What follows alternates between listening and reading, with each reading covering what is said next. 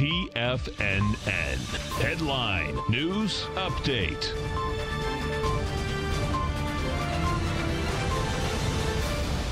Welcome, folks. We have the Dow Industrials down 68. Nasdaq is off 18. S&Ps are off five and a half. Bottom line, folks, take a look at this out here. You actually had a sideways market, um, still laying at highs. If we take a look at the SPY out here, what you're going to see inside the SPY, you're down 58 cents. You're trading 314.29. Uh, we got to a high of last week of uh, 315.31. Now it's going to be intriguing coming into the close out here. Not the close, the close on Friday is that what you did have out here last week is that you got a monster hanging man right at the highs here.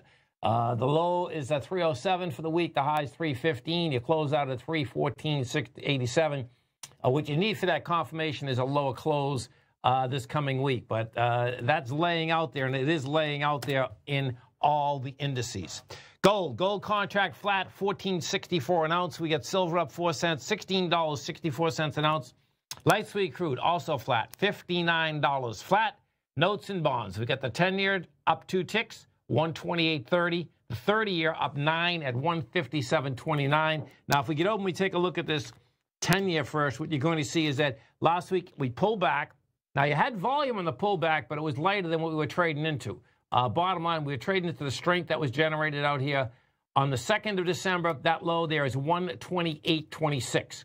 On Friday, we had rejected that. Bottom line, you're going sideways right now. It's going to have to build some cause to get into higher price. We're going to take a look at the 30 year. 30 year is set up the exact same way. 30 year right now, up 10 ticks. Uh, bottom line is that we have rejected on Friday the 157.08. Uh, bottom line, right now you're at 120, 157.29.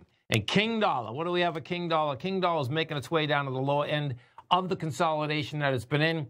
We'll see how it handles this uh, baby. It's uh, 97,107. That's the number. Right now, King Dollar's at 97,649. We go over to the gold contract. We take a look at the gold contract. What we have inside the gold contract right now, we are trading flat at 1464. Uh, bottom line is that it, the gold has to build some cause. We came down hard on Friday. We came down from uh, 1485 to 1463. It was going into its strength. Bottom line, we need a close in gold today. 1465.40. Right now, you're a buck underneath it. Stay right there, folks. Come right back with the last hour of trading.